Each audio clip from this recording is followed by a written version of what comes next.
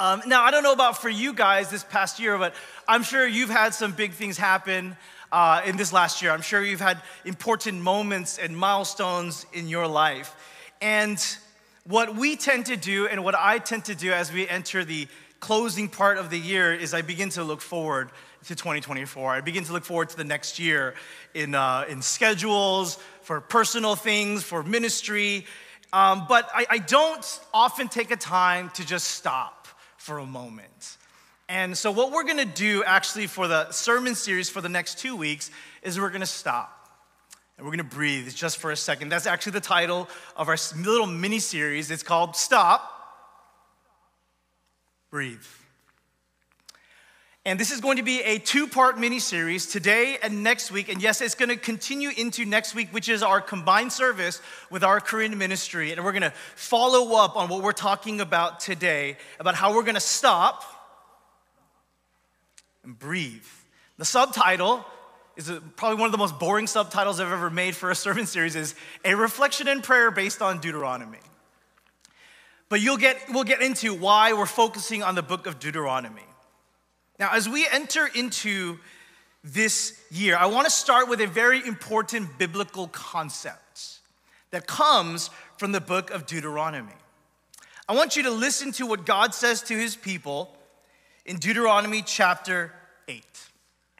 He says this Be careful to obey all the commands I am giving you today. Then you will live and multiply, and you will enter and occupy the land the Lord swore to give your ancestors. Remember how the Lord your God led you through the wilderness for these 40 years, humbling you and testing you to prove your character and to find out whether or not you would obey his commands.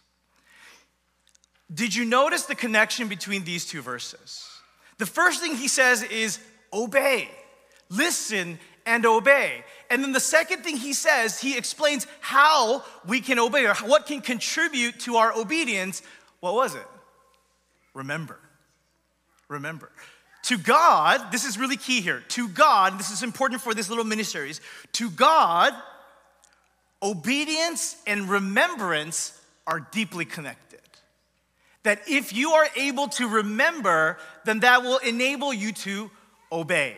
And the flip side, if you forget, you are more likely to disobey, or as we just sang in that song, we will be prone to wander if we forget. So, the question we have to ask ourselves as we begin this little mini series is Have you remembered?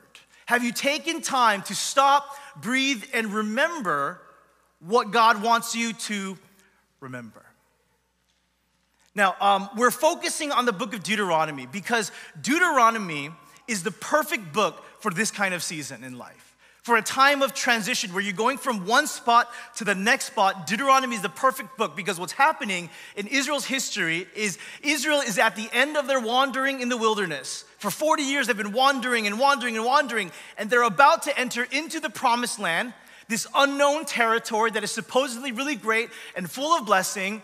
But before they go in, Moses has to sit them down and have a chat. And he has a really, really long chat, a chat for about 34 chapters. He says, before you transition, before you move into what you knew, into what you now don't know, let's sit down and talk about some really, really important things to position yourself for success and blessing in the next year. So that's what this series is about. How can we look at the book of Deuteronomy? How can we go through and learn from the book of Deuteronomy, from Moses' and God's teaching in this moment, so that we can be positioned for success and obedience and faithfulness in the next year? And according to what God says here, is it's not about making plans and goals. It's not necessarily about discipline. What's core to that, what, what, is, what is extremely essential to that endeavor, is to sit, stop, and remember some important, important things. So, what we're doing in this series is we're actually gonna look through the entire book. We're gonna go through the entire book of Deuteronomy, a really broad, overall look at the study, at the book of Deuteronomy. And what we're gonna do is, as we look at the kind of breadth of book of Deuteronomy, we're gonna design a prayer and a reflection based on Deuteronomy. So, the way Moses leads his people to pray and reflect, and what, what concepts and ideas come from the book of Deuteronomy, we're gonna develop a prayer reflection that I'm gonna offer to you and invite you guys to do it later. So, here's what you guys need to know this sermon and next week's sermon, it is not gonna blow your mind, right? No one, I don't think anyone's gonna leave this place being like, wow, I've never heard that before. That's amazing. I'm so inspired. You're not. And that's not the point. The point of this is not for you to be inspired as you listen to the sermon. The point is for you to do what I share with you, and in your time of reflection and prayer, God is going to blow your mind. All right? Not me. I'm not gonna do it because I'm just gonna be sharing what, what it says in Deuteronomy, like very, very simple. The mind blowingness of it happens after, and it's on you, unfortunately. Like, if you go into this time and you take this moment to stop and breathe in your busy schedules before you hit 2024, and you reflect and are led through this reflection and prayer, I feel like in that moment, God is gonna reveal some stuff to you. And He's gonna speak into your life. And He's gonna show you some things. And He's gonna guide you. And that's when you're gonna be like, wow, wow, wow, the Holy Spirit is moving. Not right now in this moment, but later. So it's essential that you take what you hear in these next two weeks and you actually do something about it. You actually, it's, it's really, really important because that's where the emphasis lies. So, with that, let's pray and get into this book. Father in heaven, I thank you, God, so much for your mercy and your grace and your love. Holy Spirit, I'm depending completely on you. This is your time. I pray, God, that you would speak to us in the ways we need to be spoken to, Father. Open our eyes and our ears as we hear your word today and afterwards as we enter into this time. Give us that conviction and commitment to apply this, to do this prayer, and spend this time in reflection so that you might speak to us. Lord, in your name we pray. Amen. Now, as we enter into this message, it's really key here that we understand kind of the overarching view of the book of Deuteronomy. So, the book of Deuteronomy, real quick, is split into three sections.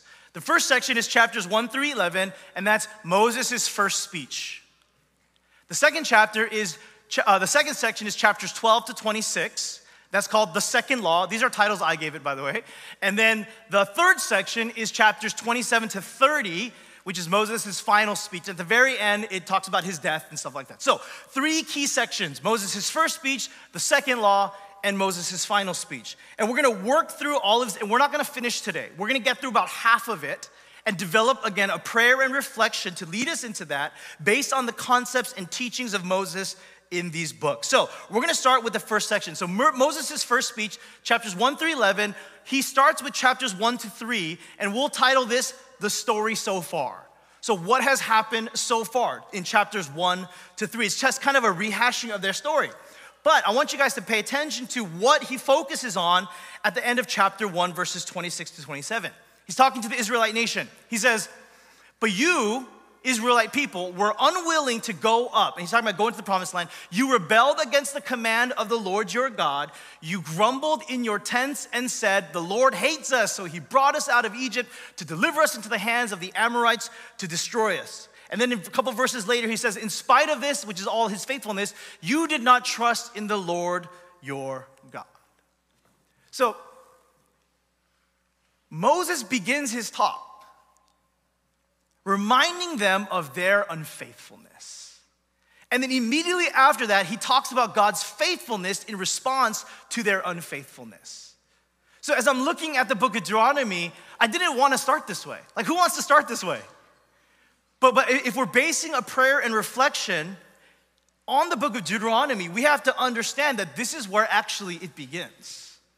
It begins with the reflection and remembrance, not of necessarily of God's goodness at first, but actually of your and my unfaithfulness this past year.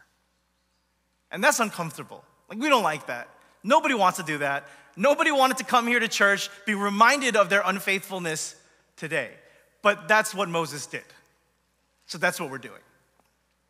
So he begins with his with, with the Israelites' unfaithfulness, and I don't have a specific verse because there's no verse in this section where it's like, but God was faithful to you. Instead, it just describes how God never left them. And how he continued to lead them and how he continued to guide them and how he continued to protect them. And they would rebel, but he would continue to be there for them. It just gives the story of how God continued to do this. So as we develop this prayer and reflection, we got to begin with this. Our reflection and prayer begins with our unfaithfulness and God's faithfulness. So you have to sit down and take a moment to think about this past year and the ways that we have been unfaithful in the ways that we have sinned, in the ways we have been disobedient in our hearts, in our minds, in our behaviors, in our actions, in our decisions. We have to take a moment to think about the times where we didn't trust God and we didn't really give it to Him and didn't really surrender. We have to think about and recall those moments when fear got the best of us and we made some decisions that we weren't really proud of. We have to get in those moments, but in those moments, as Moses does, it flows right into the faithfulness of God through all of that. So you think about your unfaithfulness, but at the same time, in that same breath, you remember God's faithfulness through it all. That, yeah, I did those things, but God never left me. And this is how I know He didn't leave me. In this past year, you think about how you were blessed. You think about how, how God continued to guide you through, through troubles and issues. How when you when you did some things and you deserve some things, that's not what you got. You recall those moments. The unfaith, our unfaithfulness and the faithfulness of God in kind of one moment is where we begin this reflection and prayer based on the book of Deuteronomy. We think about this is when we think about all the things that we don't deserve. This is when you look at your, your life and the things around you and you think, I didn't do any of this. All of this is from God. This is a blessing. It's in this moment. You know, and, this for me is really special. You know, as I think about this past year of, of church and the ministry here, and if you talk to anyone who's been here for a really long time, we, the, common theme is like, wow, there's all these people here that we've never been here before. Like there's all these new people, all these new new faces, all these new friends, all this like the growth in our church has been awesome this past year. And and as I look at that, it's easy for me to just move beyond it, but for me, I have to sit and think, wow, that is all the mercy and grace of God. Like, we didn't do anything, guys. I didn't do anything. We did not do anything different. We just were us and we just did our best, but somehow God led people. And if you are one of those people, man, we're so grateful that you've been a part of our community. If you've been here for less than a year, man, we're so thankful for you and we're so happy to see you here. Like, we have to sit in a moment to realize that there's so much in our lives that we don't deserve. Maybe you look at your kids, or you look at your job, or you look at your spouse, or you, or you look at your, your current situation in, in your finances, and you're like, you know what? This is all a blessing from God. You got to take a moment to recognize that before you move on. And that's all in the context, in light of how unfaithful we were this past year. So, this is where Deuteronomy begins chapters one, two, three. That's the story so far.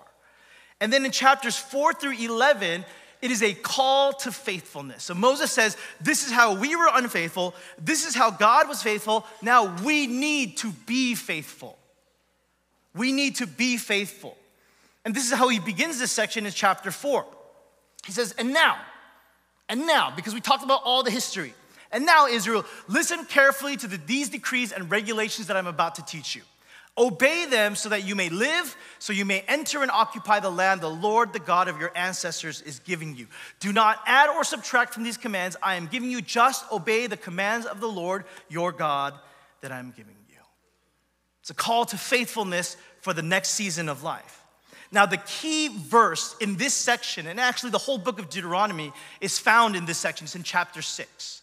And it's a famous verse uh, for Jews. It's called the Shema the Shema. And for those of you guys who don't know what that is, the Shema for the Jews is like John 3:16 for Christians. You know, it's like the verse, right? Like everyone should probably if you grew up in church, you've heard John 3:16, you probably got it memorized. You may not know what it means, and that's okay. You just have it memorized because everyone knows that, right? So for the Jews, Deuteronomy 6, 4 to 5, the Shema, that was that verse. And let me read it to you guys. And you're gonna notice there are parts of this, this text that you know and have heard in other parts of the Bible. So he starts like this Listen, O Israel, the Lord is our God, the Lord alone.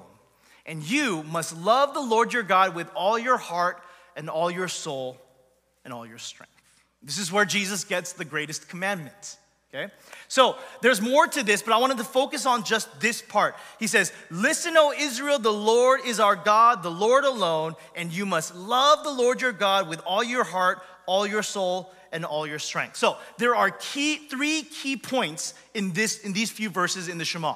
Okay, and uh, they they interestingly all start with L. Okay, so the first point as we look at this call for faithfulness in the Shema is the word listen.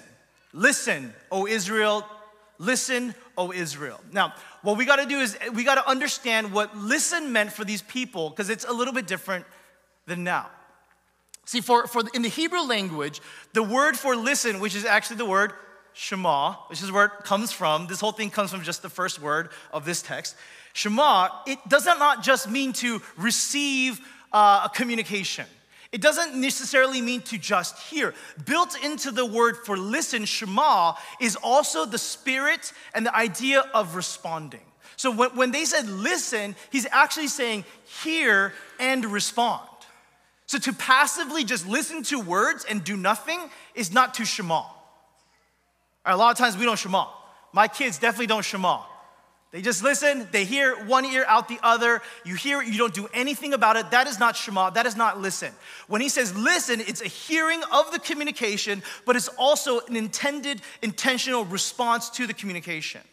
So, what this means is there's a better English word that we have for this. It's not crazy, but really the sense of Shema or listen is, is obey.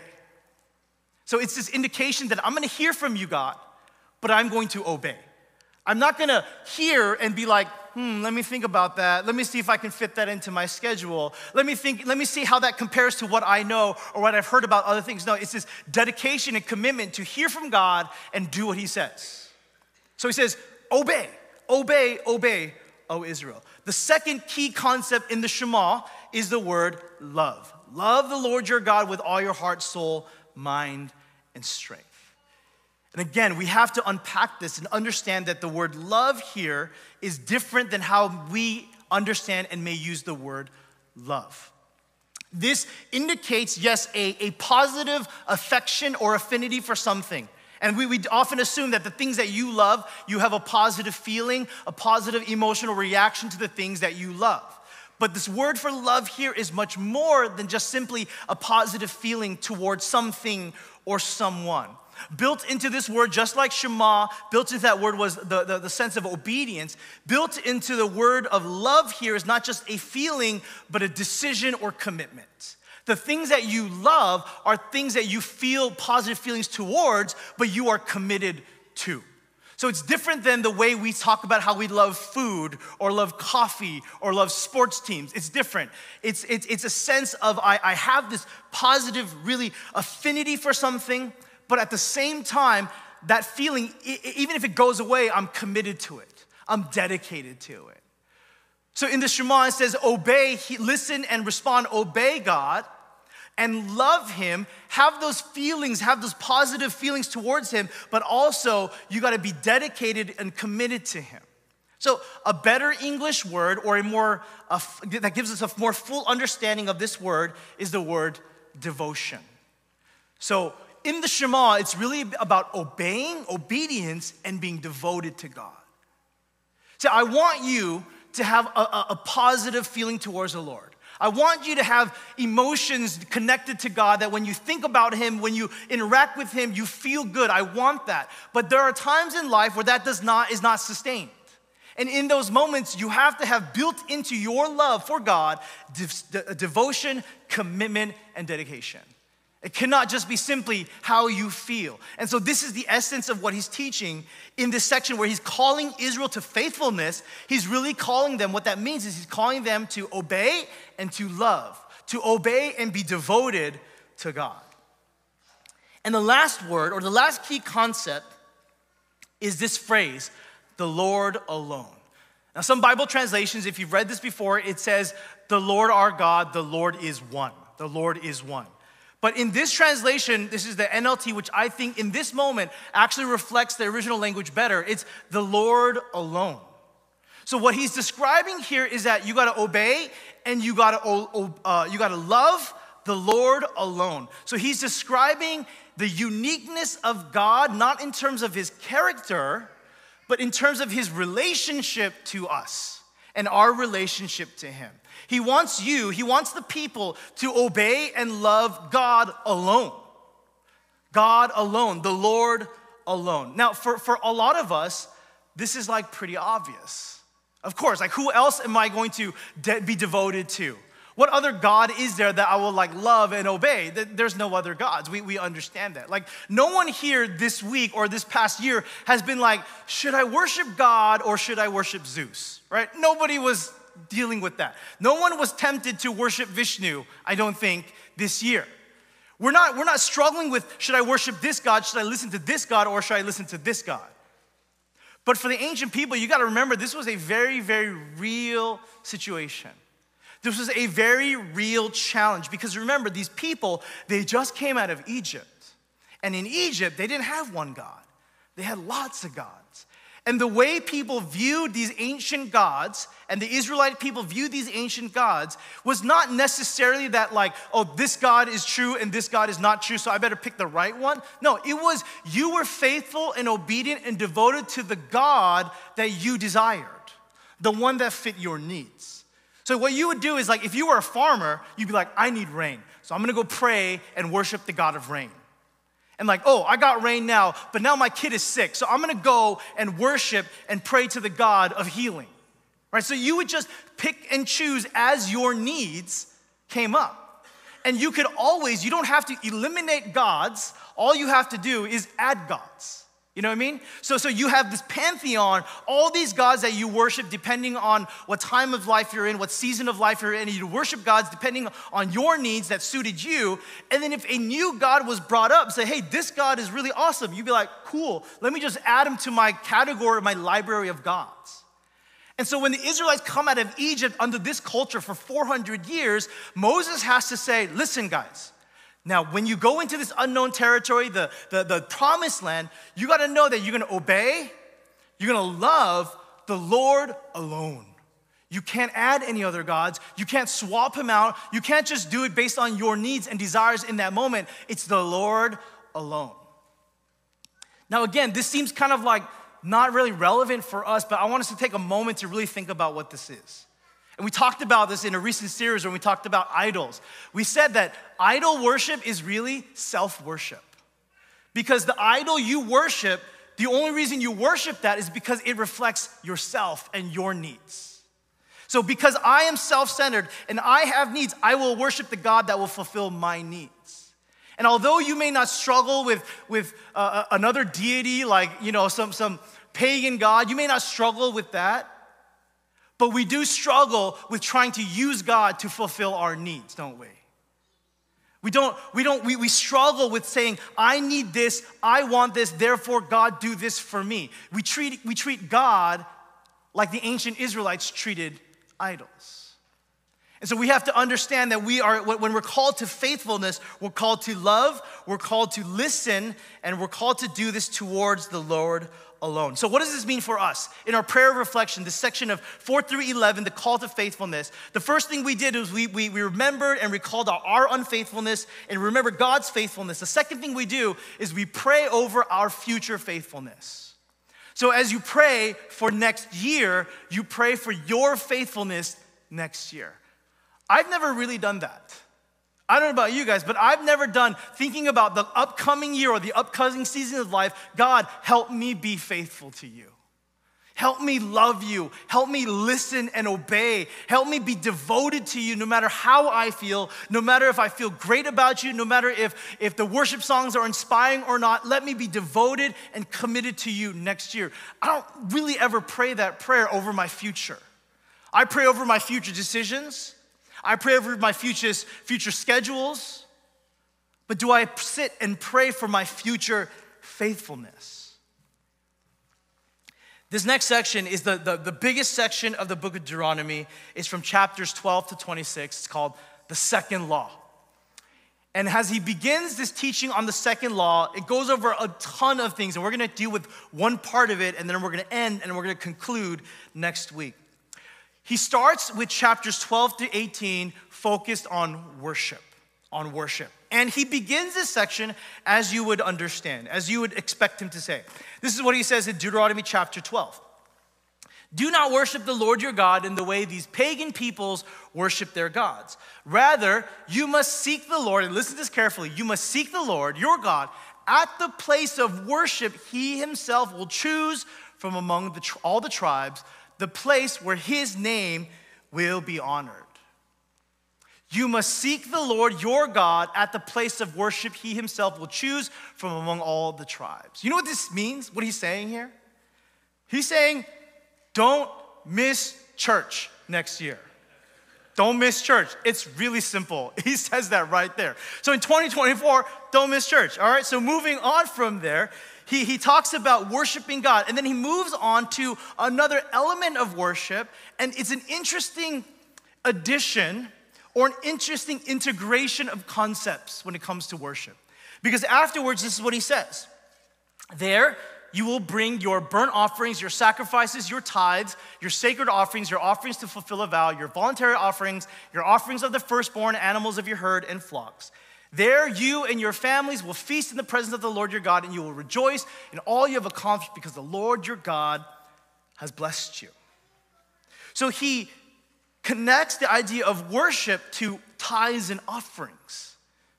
He connects the ideas of worship to finances which is like weird because we, we, we can kind of see the connection, but we don't really put the two together. But in this teaching where God and Moses are teaching his people how to worship, he talks about their attendance in, in, in coming together at the temple, but he also includes their offerings and their tithe. And this was really cool. I, I, didn't, I don't know if you noticed this, but as you have been taught probably, and if you were here for our idol series, we talked about tithe, right? That God required his people to give a tenth of their income back to God, right? Back to the service of the temple. But did you know that every three years, listen to what it says in Deuteronomy chapter 14. At the end of every third year, bring the entire tithe of that year's harvest and store it in the nearest town. Oh, I'm missing my verse. Got it got deleted. Okay, so what it says here, you just gotta trust me, or you look in your Bibles, he says every third year you take your tithe, you collect it, and you go out and you give it to the poor, is what he says.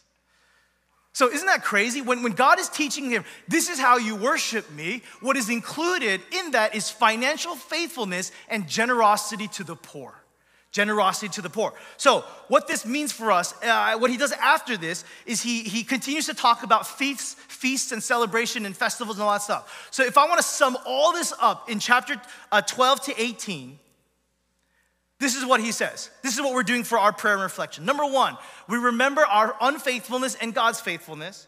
We pray for our future faithfulness, but to do that, we pray over our spiritual slash religious and financial practices. So next year, you pray, God, I wanna be faithful to you. I wanna listen. I wanna love. I wanna obey you and you alone, not myself, nobody else. Doesn't matter. I'm gonna trust you and I'll follow you. And the way you do that is you pray that I will be faithful in my spiritual and religious practices. I'm gonna pray. I'm gonna read the Bible. I'm not gonna miss church. I'm gonna serve, I'm gonna pray over the things that I need to do on a day to day basis. Faithfulness in those little things, because that will lead to future faithfulness. So, God, can you please help me next year as I try to restart my devotional life?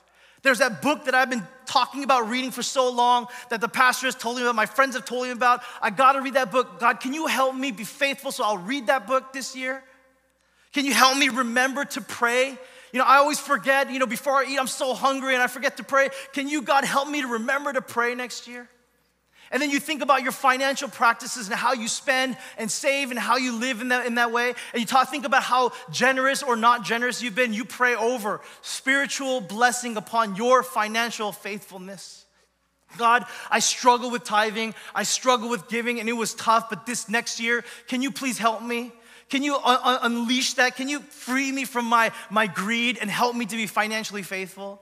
Can you help me to be more generous to the poor? I know I judge them a lot and I assume a lot about them, and I don't think that's how you want me to be. God, can you, can you please uh, just uh, soften my heart and give me more compassion for the poor and give me ways to serve and give to the poor? These are the things that lead us to future faithfulness. And the next one, this is gonna be the last one. In, in chapters 12 to 26, from verses chapter 16 to 18, he has a specific section on leadership, on leadership. And he talks about how if you choose a king, if you pick a king, I want you to understand that your king, if you choose to have one, is supposed to be different than the other kings. He's not absolute, he doesn't have absolute power. You can't give him that kind of power. Instead, this is what I want the king to do all the time. Listen to what he says. He's talking about the, um, the law of God, and he says the king needs to have with him a copy of this law. The law that I'm just telling you right now, the king has to have it besides him every, every single day. He needs to have them with him.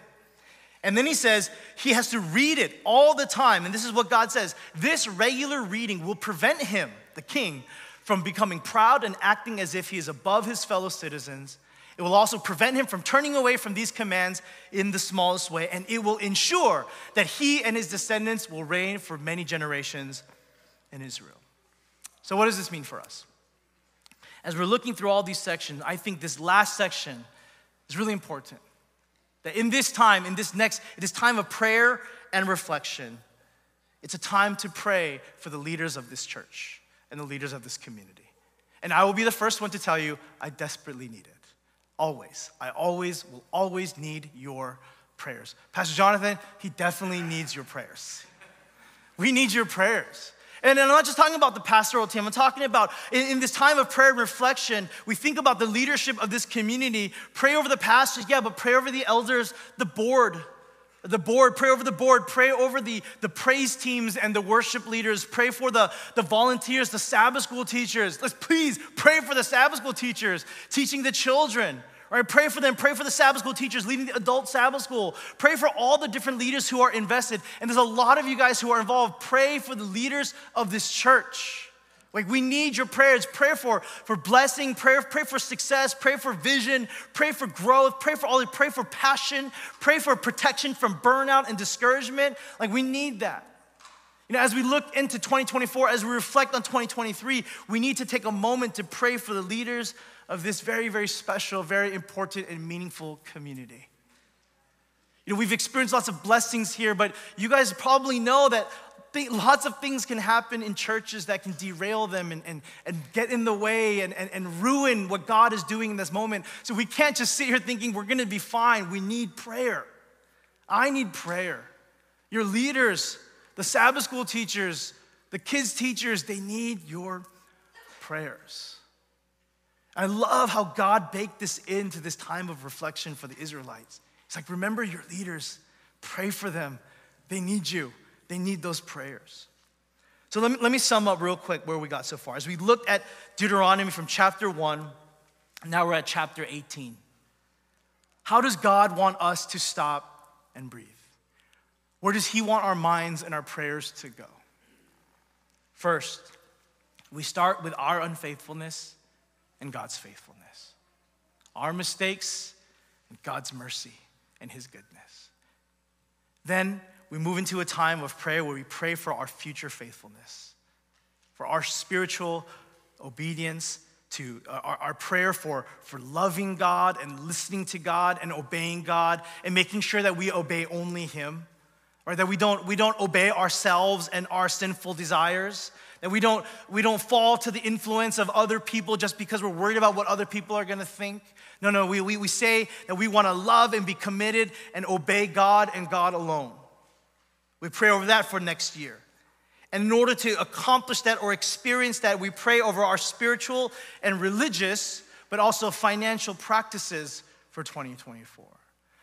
That our spiritual habits, our, our, our daily Bible reading or our prayer, our service, our giving, all that stuff, that we would be faithful specifically in those things. That we would, we would be able to, in those moments when we wake up Saturday morning and we don't want to go to church and we had a rough week, in those moments that the Holy Spirit would work on us and work in us and get us out of bed and get us into church and into community. That maybe in this next year, we'll, we'll make a decision to finally join a small group or finally lead a small group. Maybe that's where God is leading us. But we're gonna pray over the details and the small day to day things that we can do to be more faithful to Him. We're gonna pray over those things. And we're gonna pray for our hearts that we might be more compassionate to the poor and that we might give to the needy. And then finally, for this first part, we take a moment to pray for the leaders of this community. We pray for the pastors, elders, boards, volunteers, worship leaders, AV team. We pray for the leaders because they are doing a lot to make this place a place where we can all come and find Jesus and experience the Holy Spirit. You know, I know that a lot of you guys are involved and you do stuff, and I hope you guys know that there is so much involved in leading a community like this. There is a lot. There is a ton, and we need your prayers so that God will continue to bless and guide us into 2024, 2025, 2026. Because the way I see it is, though I look at our community, there is so much that God can do in this place with these people. And so we call for your prayers for the next year. So we're halfway through. We're halfway through of this prayer of reflection and, and, and, and prayer for the upcoming year. Now, next week, we're gonna focus on the second part of the second law, and it gets really, really interesting because what he does is he begins to talk about marriage, he talks about family, he talks about jobs and businesses, and like, get this, I didn't realize this, but he even talks about he even talks about use of the bathroom in Deuteronomy. He talks about how to go about relieving yourself in this community, right? He gets even there. And so, how are we gonna learn about how to reflect for next year from those kinds of things? That's what we're gonna get into next, next week. And then he talks about, then Moses gives his final message before he dies, his last words to the people of God before he dies. And he has some powerful, powerful stuff that we're gonna incorporate in this. And at the end of it, we're gonna compile this, this reflection and prayer. And I believe in that moment, as you pray and as you reflect in the ways and you remember in the ways that God wants you to remember, it's gonna blow your mind and it's gonna lead you into where you are supposed to be next year. And the whole point of this is so that by doing this, we might position ourselves, we might posture ourselves, we might be right in the right place for God to lead us into greater obedience and faithfulness next year. So join us next week. Our service is one hour early next week because we were, we're doing a combined service with the Korean ministry as we look into how God wants us to position us, how He wants to position us for 2024. Let's pray. Father in heaven, Lord, we went through a lot of material here, God. There's a lot of text and a lot of scriptures we went through here. And God, for me, I feel challenged because I felt like you were leading me in places that I didn't really want to go. You're, you're putting me and, and, and guiding me into prayers I never really thought about. But God, I pray, Lord, for in this moment that we would make a decision that when, it, when this is all said and done, that we would take the moment, take the time to stop, take the time to breathe, take the time to remember and recall and pray for these very, very important things that we might be positioned and prepared for greater faithfulness in 2024. Thank you, God, for each person here, for the way you've spoken to us. Lead us into faithfulness. In your name we pray. Amen.